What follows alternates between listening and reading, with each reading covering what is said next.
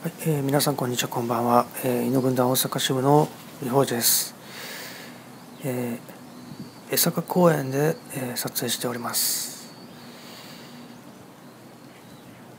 えー、ほんと綺麗ですよね。えっとあのこのゾーンはですね、えー、野良猫ゾーンでございまして、えー、運が良ければ、えー、野良猫とえ、出会えます。しかしですね警戒心が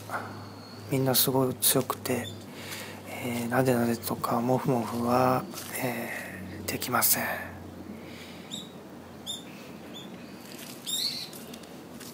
えっと鳥がですね思いっきり鳴いてるんですよね。ちょっとうるさいなっていうぐらい、えー思いっきり鳴いていて、えー、鳥もやはり始発ということでなんやかんや忙しいのではないでしょうか、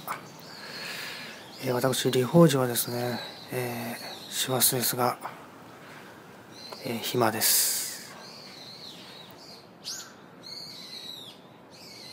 手伝いに行きます、えー、交通費と、えーお弁当が出るのであればあの手伝いに行きます。